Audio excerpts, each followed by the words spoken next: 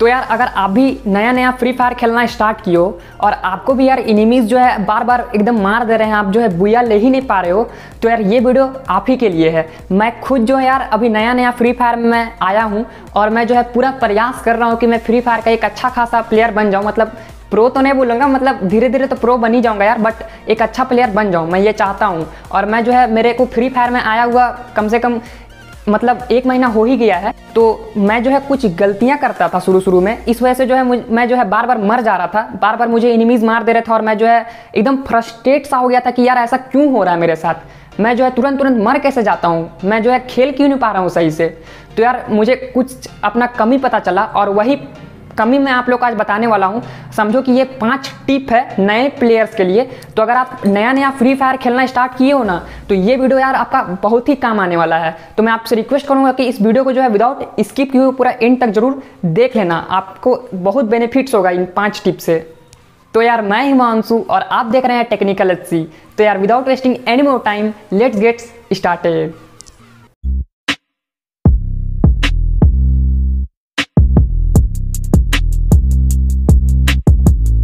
तो यार, सबसे पहला टिप मैं आप लोग को ये देना चाहूँगा, और ये कॉमन सा चीज़ है यार, आपको जो है कभी भी गन को पकड़ के नहीं दौड़ना है।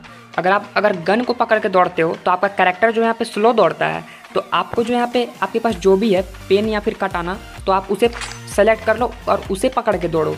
आप लोग को अंतर नज़र आएगा ज़रूर, क्योंकि गन पकड़ के आप दौड़ते हो तो ये आपका कैरेक्टर स्लो स्लो दौड़ता है। और आप अभी देखो, मैं कटाना पकड़ूँगा तो ये स्पीड दौड़ने लगता है। तो हमेशा जो है आपको गन पकड़ के नहीं दौड़ना है। कटाना या फिर पेन जो भी आपके पास है, उसे पकड़ के दौड़ो। तो दूसरा टिप मैं आप लोगों को ये देना चाहूँगा कि आप कभी भी दौड़ने के लिए यार ये ट्रिगर को मत यूज़ करना। ये कंट्रोल वाले ट्रिगर को मत, कभी भी यूज़ मत करना। इससे जो आपका करेक्टर बहुत ही ज़्यादा स्लो दौड़ता है। आपको जो यहाँ पे एक रनिंग के लिए एक अलग सा ऑप्शन देखने को मिल जाता है रनिंग वाला ऑप्शन तो आपको जो है इसे यूज़ करना है। तो आप देख सकते हो कितना ज़्यादा स्पीड यहाँ पे हमारा कैरेक्टर जो अभी दौड़ रहा है। तो आपको जो हमेशा रनिंग वाला आइकन यूज़ करना है। बहुत सारे नए प्लेयर्स जो है यार, इस वाले कंट्रोल को सेलेक्ट करते हैं और इससे दौड़ते हैं। तो ये बहुत बड़ा मिस्टेक है यार। आपको जो है हमेशा दौड़ने वाला आइकन को यूज़ करना है, दौड़ने के लिए। यहाँ पे ऑलरेडी एक अलग सा ऑप्शन है दौड़ने के लिए। हमेशा इसे यूज़ किया करो। तीसरा टिप मैं आप लोग को ये दूँगा कि आपको जो है हमेशा ग्लू वाल को यूज़ करना है। बहुत सारे नए प्लेयर जो है ग्लू वाल को टोटली इग्नोर कर देते हैं और मैं भी इग्नोर कर रहा था बट यार ऐसे में नहीं चलेगा। आपको जो है ग्लू वाल को उठाना है और उसे हमेशा यूज़ करना है। ग्लू वाल यूज़ नहीं करोगे तो भाई बहुत दिक्कत है। ग्लू वाल आपको बहुत ही ज़्यादा काम आता है यार कवर लेने में। तो ग्लू वाल को कभी इग्नोर मत करना, हमेशा यूज़ करना। तो यार फोर्थ टिप मैं आप लोग को ये देना चाहूँगा कि आपको जो है हमेशा कवर में रह के लड़ाई करना है फाइट करना है। बहुत सारे लोग जो है नए नए प्लेयर्स जो है करते ये हैं और मैं खुद जो है शुरू शुरू में यही कर रहा था कि मैं मैं जो है खुले में एकदम फाइट करने लग जा रहा था। अगर आप खुलेआम ऐसे फाइट करोगे तो आप मरने वाले हो यार। तो आपको जो हमेशा कवर फाइंड करना है कि किधर का कवर आपको मिलेगा। तो जैसे कि यहाँ पे ये एक पिलर है तो ये एक कवर बन गया मेरा। तो कवर में रख के अगर आप फाइट करेंगे तो बहुत फ़ायदे में रहेंगे। तो आपको जो हमेशा कवर में रहना है। फिफ्थ एंड लास्ट टिप मैं आप लोग को ये देना चाहूँगा कि आपको जो हमेशा कोशिश करना है कि आप जो है सामने वाले इनेमी के हेड में गोली मारो।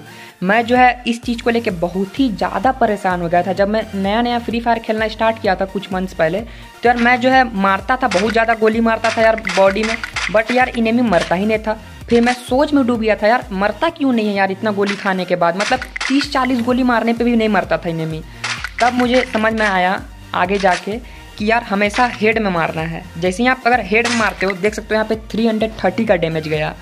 बॉडी शॉट में आप मारते रहोगे, यहाँ पे 60 30 ऐसा जाएगा। तो इससे कोई फ़ायदा नहीं है इनेमी मरने वाला है नहीं। हमेशा कोशिश करो यार कि आप डायरेक्ट जो है इनेमी का हेड में मारो।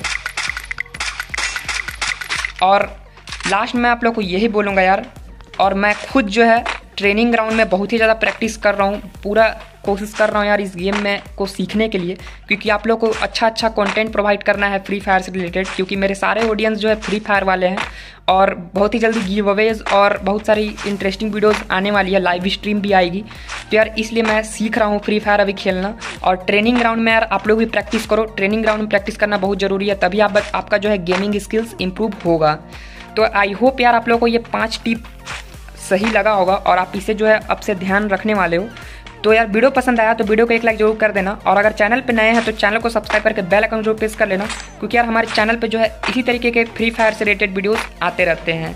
तो मिलते हैं अपने किसी नेक्स्ट वीडियो में, तब तक के लिए यार बाय बाय टेक केयर जय हिंद, वंदे मातरम।